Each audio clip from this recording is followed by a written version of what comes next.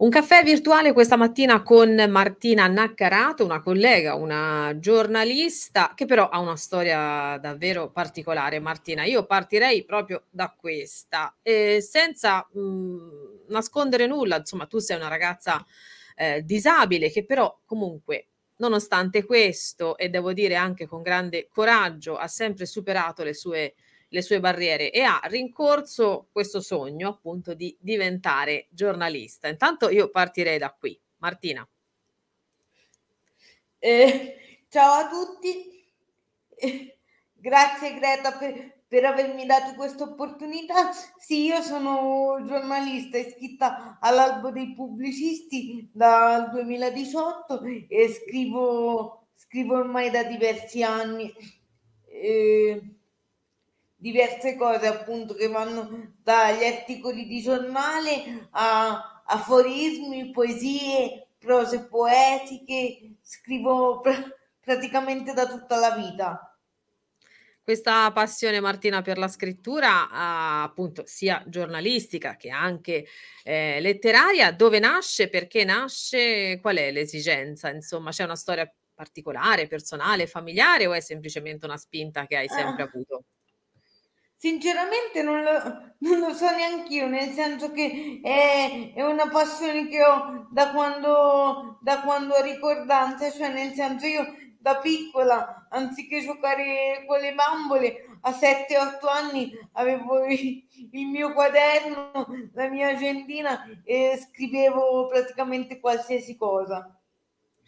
Senti, il tuo percorso proprio per diventare giornalista mhmm, com'è stato? Mhmm, faticoso, normale, mhmm, liscio, insomma, come si dice in gergo, o hai avuto qualche difficoltà?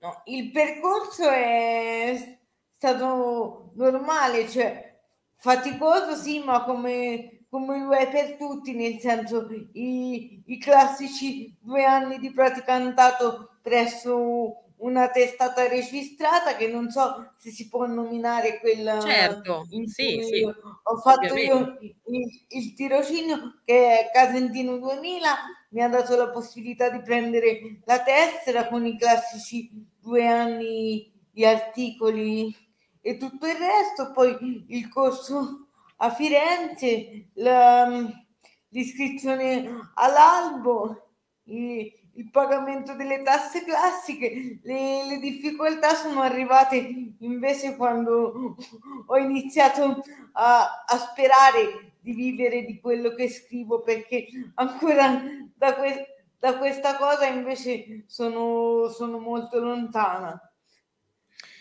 Ecco, uh, tocchi un tasto, Martina, che ovviamente noi abbiamo detto, ma per onor di cronaca, che tu sei... Ehm, appunto una ragazza disabile, ma eh, questo non ha inciso minimamente nel tuo percorso, eh, tantomeno nel percorso da, da, giornalista, perché così come no. tutti i normodotati sei sì, entrata in questo bellissimo mondo di eh, poveri, non dico disoccupati, ma quasi, perché comunque sia il mondo dell'editoria, tu sai, sì, sì. tutte crisi, eh, i giornalisti, tra l'altro mh, avrai studiato insomma nei, nei, libri di deontologia e di storia del giornalismo che l'Italia è l'unico paese che ancora conserva eh, l'ordine e va bene così, ci mancherebbe altro, sì. però detto questo magari sì. avere qualche tutela in più, qualche eh, come dire, qualche sì, esatto. di lavoro in più forse non farebbe male. Va bene, ma polemiche a parte, come dici tu, fai ancora fatica a vivere sì. di quello che scrivi. Perché? Perché il, il giornalista sì. è, è, pagato poco, perché non trova sbocchi, perché Martina? No, eh, sicuramente perché... Mh mm, sono, dico la verità, secondo me sono poco diplomatica e fin troppo onesta. Forse anche questo, diciamo, non mi aiuta a fare, a fare carriera nel mondo del giornalismo o comunque della letteratura. E poi perché per quanto, per quanto riguarda la letteratura, appunto, scrivo scrivo cose che principalmente si rivolgono ad un pubblico d'elite, perché diciamoci la verità, già la gente legge molto poco e sicuramente se non legge, uh, cioè se legge, non legge poesie o comunque prose poetiche come, come quelle che molto spesso scrivo io. Allora, veniamo al motivo, insomma, al di là della tua storia personale che è molto bella, interessante e che lancia comunque degli, degli allarmi che, ripeto, riguardano tutta la categoria di noi giornalisti e che raccogliamo volentieri. Detto questo, eh, invece, eh, il prossimo sabato tu hai eh, il 10 di giugno, giusto? Questa presentazione sì. Ecco, sì, sì. Di, questo tuo, di questo tuo libro. Come si intitola e che cosa contiene? Eh, sabato 10 giugno alle 4 e mezza ci sarà la seconda presentazione del mio quarto libro, la prima che verrà fatta ad Arezzo e il mio libro è il mio, la mia quarta fatica letteraria, come si dice in gergo, e si intitola Lettera alla vita, che appunto è un breve testo che contiene principalmente delle, pro, delle prose poetiche, appunto, che sono un inno alla vita, a, all'andare, all'andare avanti nonostante tutto, ma andare avanti non, non, nel senso di sopravvivere, ma di vivere a pieno la vita. E soprattutto quando dico nonostante tutto, non intendo nonostante la disabilità, ma nonostante le difficoltà che la vita mette, mette di fronte a ognuno di noi e nonostante quei dolori che possono essere eh, a dir poco laceranti e rappresentare il giro di boa nell'esistenza di una persona. Sì, esatto Martina. Io devo dire, eh, quando ci siamo insomma confrontate, sentite per raccontare altri aspetti della tua vita, ho sempre apprezzato il fatto che tu non hai mai messo di fronte a questo la tua, la tua disabilità e l'avresti anche potuto fare, perché voglio dire, è sicuramente quantomeno un limite, un limite fisico per alcune cose, sicuramente non lo, è, non lo è mentale, tantomeno per il tuo sviluppo della vita. Detto questo, uh, il 10 di giugno dove Martina le persone potranno partecipare? Se sì, uh, come? Ci sarà un firma copia? Insomma, raccontaci un po'. Sì, ci sarà ci sarà la, la presentazione, un firmacopie, il libro verrà presentato principalmente da un mio ex professore che non so se si può nominare oppure certo. no, però un mio ex professore di italiano che è Francesco Cortonesi e poi ah, caspita, conosco bene sarà, Francesco.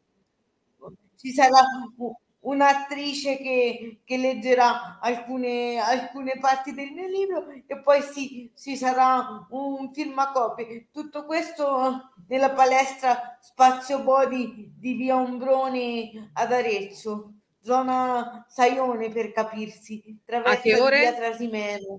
A che ore Martina? Alle 16.30 dalle 16.30. Allora, l'appuntamento l'abbiamo dato, ti facciamo un grandissimo eh, in bocca al lupo per il tuo futuro, sia di, di, giornalista. Un consiglio, intanto potresti aprire un blog personale, chissà, magari sì. eh, su quello puoi davvero fare, fare e scrivere quello che vuoi e dare le tue opinioni, però insomma, questo ovviamente è un consiglio così da... E, estemporaneo. E, e, è il mio prossimo progetto dopo la seconda laurea in filosofia che prenderò alla fine dell'anno, quindi ecco. nel 2024 il blog sarà il mio prossimo progetto. Vedi che allora Magari ci siamo... Ci, ritrov- sì, ci, ci ritroveremo qui per parlare di, di quest'altra novità di questo, perché poi insomma oggi la rete credo Martina che offra veramente, eh, se per certi versi è eh, negativa per il mestiere del giornalista e te lo posso assicurare insomma per alcuni sì. aspetti lo è sicuramente, sì, per altri però ecco apre tante strade che prima non esistevano e quindi prendendo il bello no, di queste nuove opportunità sì, sicuramente si può disegnare un futuro. Di nuovo un grande in bocca al lupo e allora tutti... Stamattina nonostante nonostante i numerosi impegni di entrambe, stamattina siamo riusciti ad essere qui. Quindi esatto, esatto. Questa, questa cosa della distanza che non è bellissima, però ci consente comunque di fare una bella chiacchierata. Ti chiedo di salutare Martina, non solo i telespettatori di Arezzo TV, ma anche i radioascoltatori di Radio Fly, perché la tua intervista va in onda anche su Radio Fly. Grazie mille, un saluto a tutti, grazie per avermi ascoltato e allora vi aspetto il 10 di giugno a Spazio Body.